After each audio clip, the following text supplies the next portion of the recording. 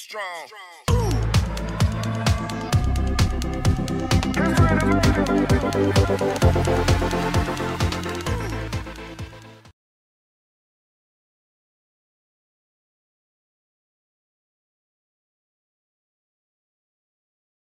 New footage has revealed Arsenal youngster Myles Lewis Skelly relaying a message to goalkeeper David Raya during the team's draw against Manchester City, sparking a time wasting controversy. In the 65th minute, with Arsenal leading 2-1, Lewis Skelly was seen communicating with Raya before the keeper fell to the ground, delaying play. Referee Michael Oliver cautioned the 17-year-old for unsporting behaviour, despite him not yet entering the game. Arsenal's tactics drew attention, with Sky Sports' Gary Neville calling it a deliberate strategy, while PGMOL confirmed Lewis Skelly's booking for showing a lack of respect for the game. Do you think Arsenal's tactics in this match were just smart game management, or did they cross the line into unsporting behaviour? Let me know your thoughts in the comments below.